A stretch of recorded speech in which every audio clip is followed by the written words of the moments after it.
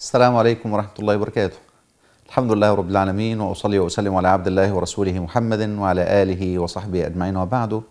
فأهلا ومرحبا بكم إخواني الأفاضل وأخواتي الفضليات ومع حلقة جديدة متجددة من هذا البرنامج الذي أسميناه كيف. ولقاؤنا اليوم إن شاء الله تعالى مع عنوان جديد تحت عنواننا الكبير كيف. كيف تعتمر؟ كيف تعتمر؟ قد يقول قائل لماذا نبدأ بالكلام عن صفة العمرة وكيفية العمرة قبل الكلام عن الحج؟ أقول هذا لأجل ارتباط العمرة برمضان فإن للعمرة مع رمضان شأن وشأ كيف لا؟ وقد خرج البخاري في الصحيح من حديث جابر ومن حديث ابن عباس ومن حديث أم سنان الأنصارية أن النبي صلى الله عليه وآله وسلم قال لها إن حجة إن عمرة في رمضان تقضي حجة أو حجة معي. إن عمرة في رمضان تقضي حجة أو حجة معي. بل في لفظ عند البخاري إن عمرة في رمضان حجة. إن عمرة في رمضان حجة. قال الإمام ابن عبد قال الإمام ابن العربي رحمه الله تعالى هذا فضل من الله تعالى ورحمة. فإن العمرة بلغت منزلة الحج إذا انضم إليها رمضان. إن العمرة بلغت منزلة الحج لما انضم إليها رمضان. على أن العمرة فاضلة في كل زمان لكن يزيد الفضل في رمضان. كيف؟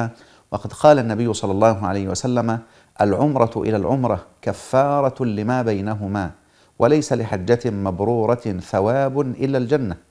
العمرة إلى العمرة كفارة لما بينهما ما بين الحج والعمرة من الذنوب والآثام. الصغائر أو الصغائر والكبائر خلاف بين العلماء وفضل الله واسع. فقد يشمل هذا الصغائر والكبائر. كما خرج البخاري ومسلم أيضا من حديث أبي هريرة أنه صلى الله عليه وسلم قال من حج هذا البيت فلم يرفث ولم يفسق رجع من حجه كيوم ولدته أمه. وهذا يشمل العمرة كما يشمل الحج لأنه قال من حج أي من قصد هذا البيت فيشمل هذا المعتمر كما يشمل الحاج. على أن العمرة حج أصغر. كذلك جاء عنه صلى الله عليه وسلم في حديث عمرو بن حزم وفيه وإن العمرة الحج الأصغر. فالله تعالى يقول في كتابه وأذان من الله ورسوله إلى الناس يوم الحج الأكبر. فبين أن الحج منه ما هو أكبر وهو الذي فيه الوقوف بعرفات ومنه ما هو حج أصغر وهو العمرة. ولأجل هذا ذهب الشافعي وأحمد رحمة الله تعالى عليهما إلى القول بوجوب العمرة على المستطيع كالحج سواء بسواء لأنها من جملة الحج الذي أوجبه الله على عباده لكنه حج أصغر. وأيا ما يكون كيف نعتمر؟ أقول أعمال العمرة أعمال سهلة ميسورة. لكن يحتاج المسلم قبل أن يتلبس بها أن يتعرف على أحكامها وإلا فالجهل بهذه الأحكام قد يدخل المرء في عنة لا يعلم به إلا الله. أعمال العمرة أربعة أعمال محصورة هي الإحرام والطواف والسعي والحلق أو التقصير وهي بهذا الترتيب. أولها الإحرام وهو الدخول في النسك وهذا إنما يكون بالنية. وعلى هذا فالإحرام هو نية الدخول في النسك والأصل ألا يحرم الإنسان بالعمرة إلا في الميقات المكاني الذي عين النبي صلى الله عليه وسلم فلا يسن للمرء أن يحرم خارج المواقيت ولا يجوز له أن يجاوز الميقات بلا إحرام.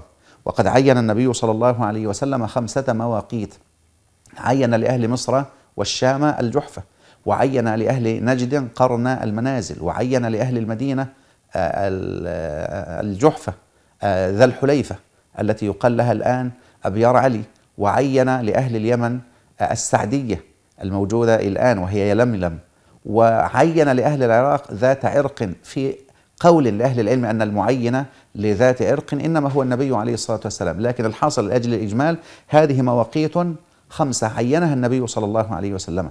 فمن مر بميقات من هذا الميقات أحرم من هذا الميقات. لا يحرم قبله ولا يجوز أن يحرم بعده. ولو جاوز الميقات بلا إحرام قلنا له ارجع إلى الميقات فأحرم منه. وإن أحرم بعد الميقات من الحل صح إحرامه لكن يلزمه عندئذ أن يذبح شاة لفقراء الحرم فإن عجز صام عشرة أيام عوضا عن هذه الشاة. يحرم من الميقات والإحرام له سنن. من سننه أن يتجرد المرء من المخيط عن الرجل عند الميقات. ثم يغتسل رجلا كان أو امرأة بل حتى لو كانت المرأة حائضا وتحرمه فإنه يسن لها أن تغتسل كما اغتسلت عائشة وكما أمرت أسماء بنت عميس أن تغتسل أيضا رغم أنها كانت نفساء. ثم يتطيب المرء في بدنه ويتنظف يضع الطيب في المغابن وهذا مباح قبل الإحرام حرام في الإحرام. لكن قبل الإحرام يتطيب في المغابن ويتنظف بأخذ خصال الفطرة قص الأظفار وقص الشارب ونتف الإبط ونحو هذا لأجل ألا يحتاج إلى شيء من هذا بعد إحرامه. ثم يلبس الرجل بعد هذا إزارا ورداء أبيضين نظيفين. هذا السنة.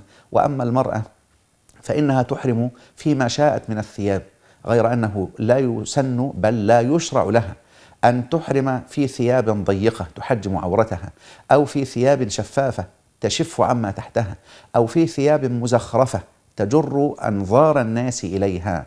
فلا رفث ولا فسوق ولا جدال في الحج. وإذا أحرم المرء على هذا الوصف الذي ذكرنا يسن له عندئذ أن يصلي قبل أن يدخل في النسك. فإن وافق فرضا فالحمد لله وإلا فيشرع له أن يصلي ركعتين سنة الوضوء ثم يحرم عقيب صلاته ويهل عندئذ ويقول لبيك عمرة. هذا إذا كان يعتمر عن نفسه. أما إن كان يعتمر عن غيره وقد سبق له أن يعتمر عن نفسه فيسمي من يعتمر عنه فيقول لبيك عن فلان. ويشرع له من هذا الوقت أن يلبي.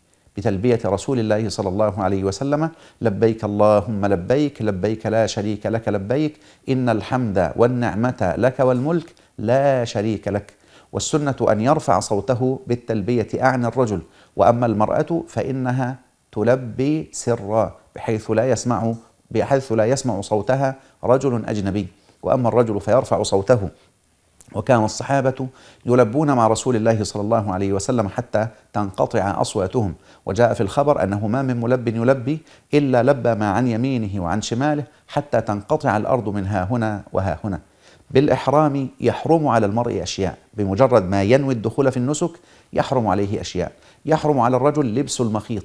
والمخيط ليس معناه ما فيه الخيوط لكن معناه ما فصل على قدر البدن كالقميص الجلبية أو البنطال. أو الجورب الذي يستر الكعبين. يحرم عليه أن يلبس المخيط ويحرم على المرأة أن تلبس النقاب. فالأصل أن إحرام المرأة في وجهها وإحرام الرجل في رأسه. فالمرأة تكشف عن وجهها في الإحرام. لكن إن مرت بالرجال أو خافت نظر الرجال إليها جاز لها أن تغطي رأسها بشيء من أعلى رأسها من غير أن يكون مفصلا على قدر العينين.